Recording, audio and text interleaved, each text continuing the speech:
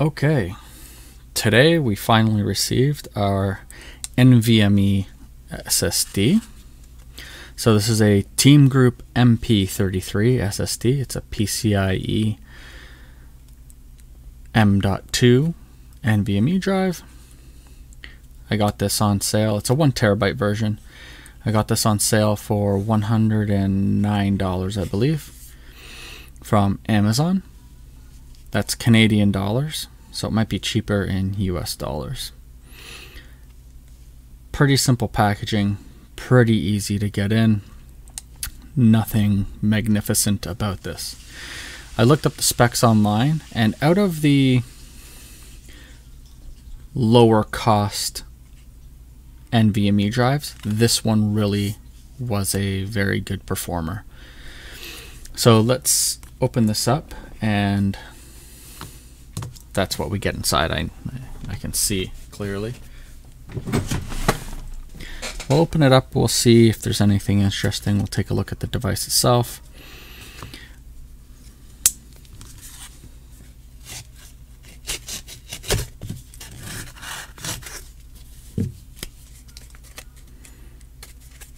Said use scissors, but that knife did real good. Okay, so there really isn't anything else in here. There's no instructions inside of here, no manual. The instructions are actually just printed here on the back. Insert it, put it down, put a screw in. It's super simple these days. So let's pop it out here. Okay, so it's a computer chip with a sticker on it. If you remove the sticker, the warranty would be void. Mm, but I don't see how they'd know if you remove this sticker or not. It's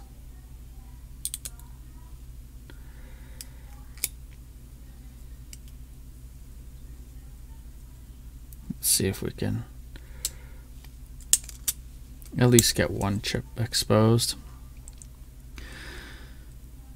So this is an SM 2263XT chip.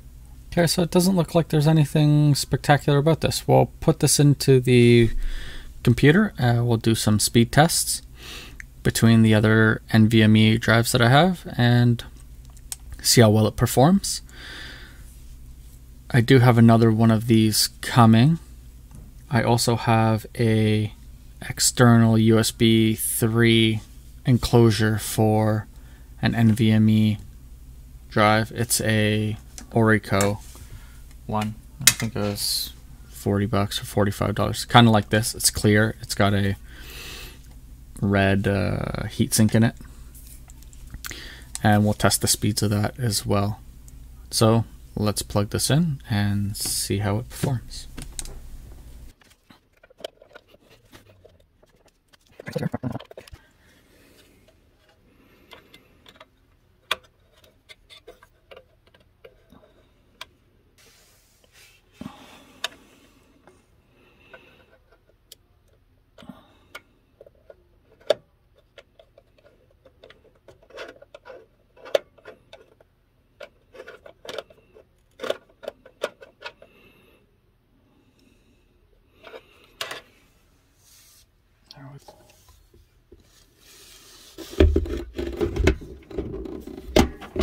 Okay, so we're back in Windows.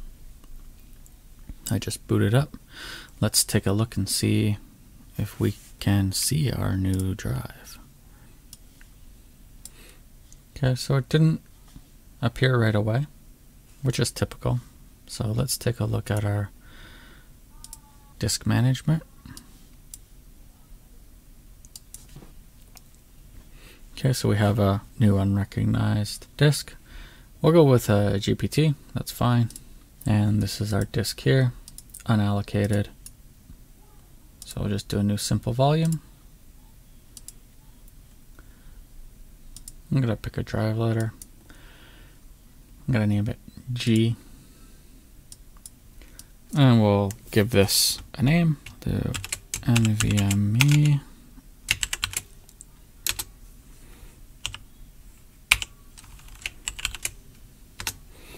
So this is the team group NVMe one terabyte. Finish.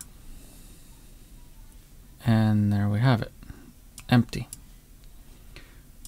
So this is what we got here. We have this is a Samsung 970 EVO. This one is an XPG NVMe, and this one here is the Team Group 1 terabyte. So let's uh, take a look and see what kind of transfer speeds we get from the Samsung.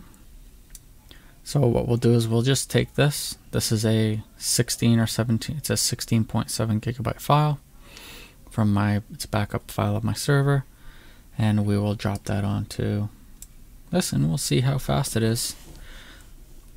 So 1.3, 1.4, 1.5. That's pretty good speeds from there. That's from the Samsung to the team group. Okay, I'll delete that. Let's see what kind of speed we get to this guy here.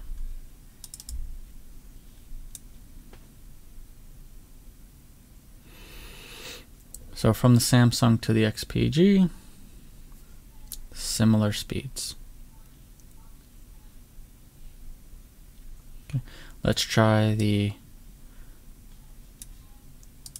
XPG to the team group.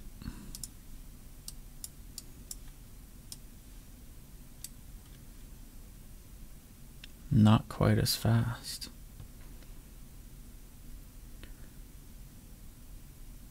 Oh, it's up there. So yeah, the speed did increase 1.5. There's a little bit of a dip there at the beginning. So let's retry that.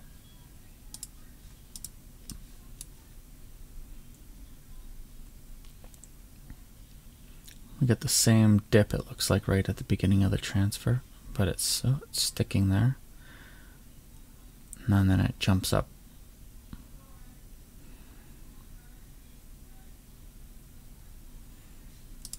Okay, let's try reading from. We'll try reading from the team group and onto the Samsung, which is on the desktop. And that gives us a pretty flat, oh, lowering as we get to the end of the file. And then we'll try from the team group to the XPG.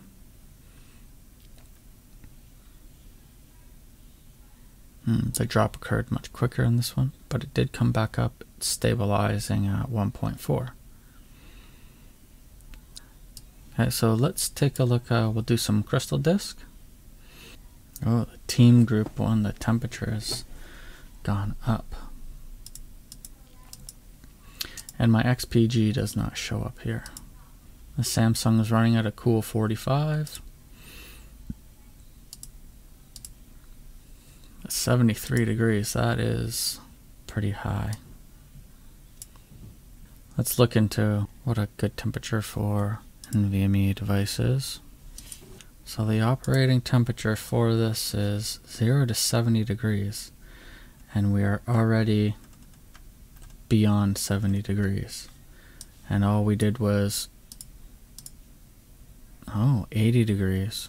I wonder if that's reporting properly.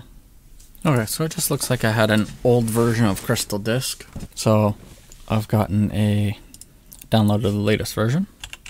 Okay, so the version I was using previously was version 7.7 and it did, didn't detect all my disks. So now I'm on 8.12. It detects all the drives and the temperatures are within a reasonable amount. Okay, so we'll do a crystal disk mark test. We'll do all the drives and we'll compare them.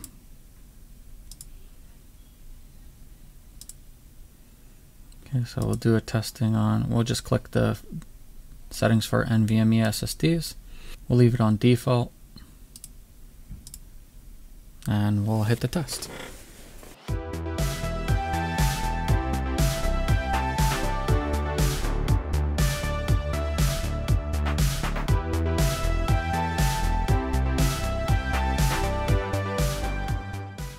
Okay, this is the results we got after five passes with Crystal Disk Mark on the Samsung 960 EVO.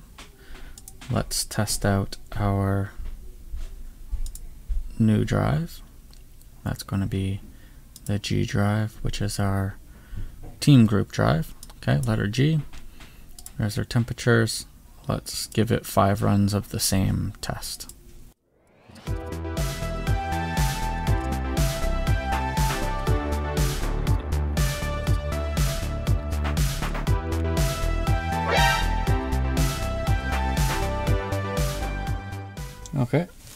So these are the results for the MP33 from Team Group. Let's test out our D drive, which is the XPG, and we'll compare those ones.